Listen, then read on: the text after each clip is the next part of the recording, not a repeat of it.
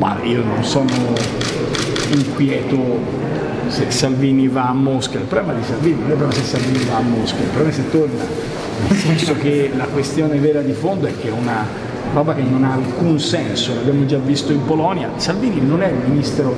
competente, non è il capo del governo, di fronte alla guerra non si fanno gli show mediatici. Detto questo, trovo anche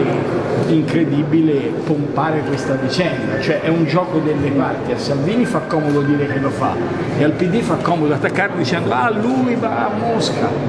I problemi dell'Ucraina e della Russia non li risolvono né Salvini né il PD.